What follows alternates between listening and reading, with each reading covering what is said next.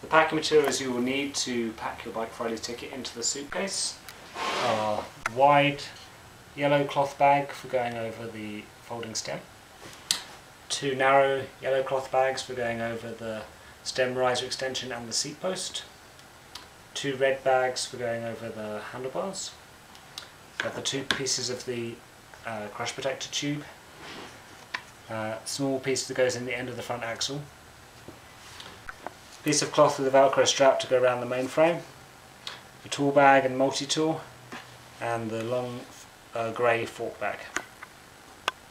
The first step will be to fold the tikit, so I'm going to start off by doing the pedals, release the latch, I'm just going to pause here for a second. Um, when we put the bike in the suitcase we need to fold it a little bit tighter, called the overlatch. So in this position, leave the seat post all the way up and the rear end will then fold up that little bit further. Then the seat post can be lowered as normal. This particular bike is a Model T, so I'm just going to unfold the stem.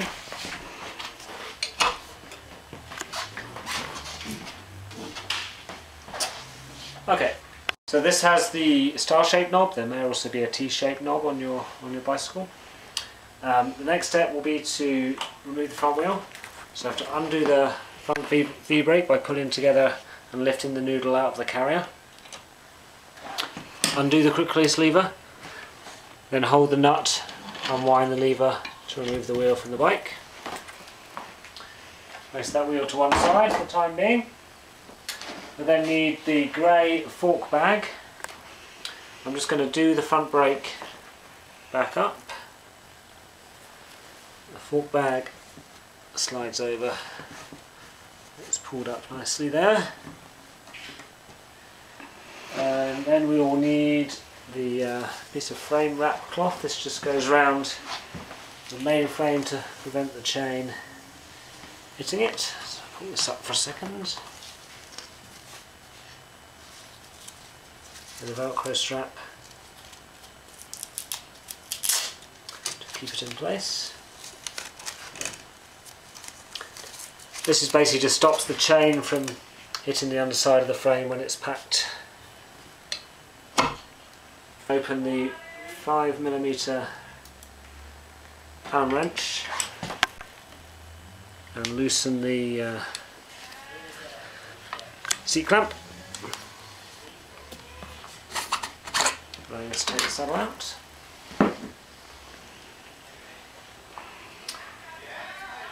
So before we put the bike in the case we're going to, oh point to note that the bicycle should be in the lowest gear, so in the big sprocket on the back, that's gear number one on the shifter.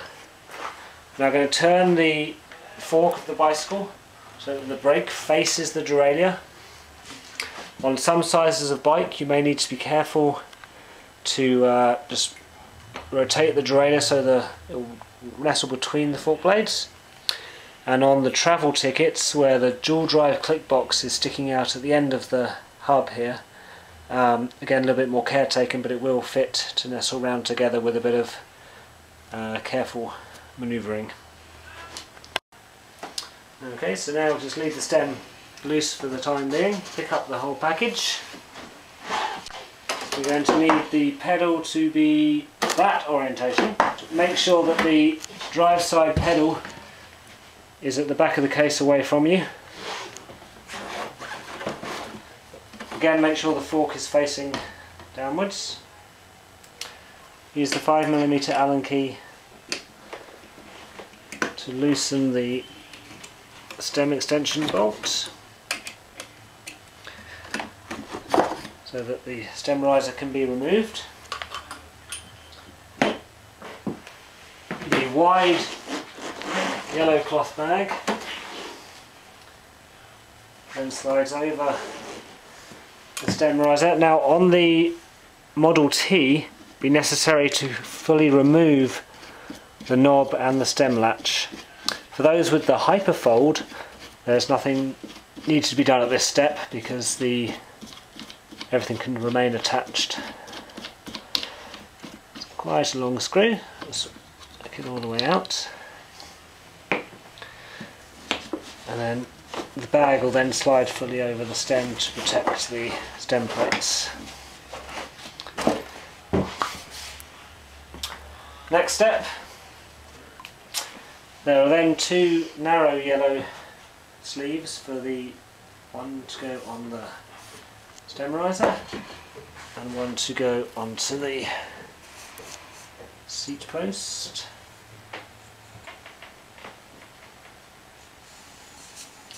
Like so. I'll put that in in a second. So for the handlebars, then have the red pieces to go over each end of the handlebar.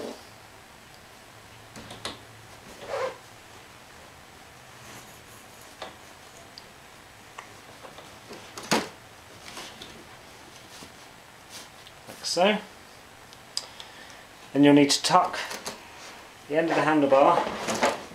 You'll have to lift, lift the bike a little bit under the rear wheel so the handlebar sits across the bike like so and the seat post slide down the back there crash protector bottom piece is to go in the bottom of the seat post so it's underneath the rear wheel. Do the top piece in a second. First of all take the front wheel. Take the quick release skewer all the way out. And uh, don't lose the little springs. Wind that back on. Front wheel then sit on top of the bike. There's a piece to protect the end of the axle then the crash protector will slide through both wheels and through the frame into its lower piece. That stops any forces from compressing the bike in the suitcase. You'll then have the quick release skewer, the twiddly knob and your trusty multi-tool to go in the tool bag. So we'll drop down into the corner of the case and you're ready to shut the case and the bike is packed. You can also use some of the extra space in the case to pack your shoes or your helmet um, and of course the bike trailer will fit in here too if you have that. Um, just bear in mind the airline's weight limits when you're packing for flying.